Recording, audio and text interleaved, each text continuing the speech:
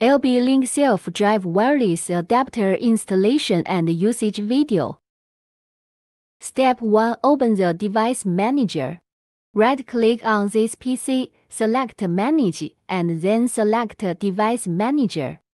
Then click on Network Adapters, Disk Management, Other Devices and CD Drive here. Step 2. Connect the wireless adapter. Connect the USB wireless adapter to the rear USB port of the computer host. Then go back to the device manager and check the display status of the wireless adapter.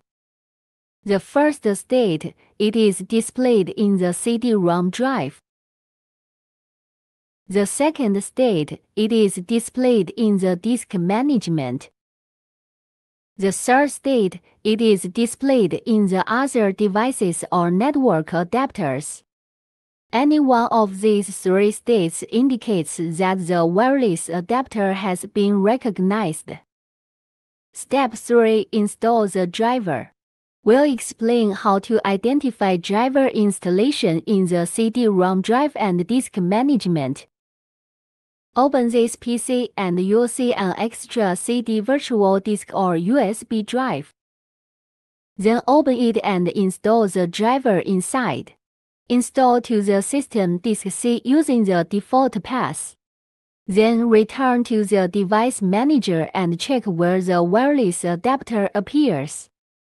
If the wireless adapter shows up in the network adapter, it's ready for use. Step 4 Connecting and using wireless Wi-Fi. Click the network icon at the bottom right of the desktop to search for Wi-Fi. On Windows 11 and later, click the Wi-Fi icon to search for networks. Locate your home Wi-Fi, enter the password, and connect. Next, introduce the method for using it as soft AP. Connect the computer to the Internet via Ethernet cable to use it as a soft AP.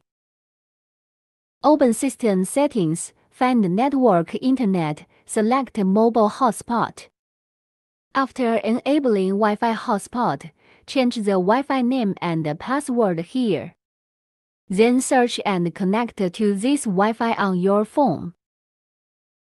The wireless adapter connect to Wi-Fi or enable Wi-Fi hotspot, not both simultaneously. That's all for the installation and use of the wireless adapter. If you still don't know how to use it, please contact our official tech support.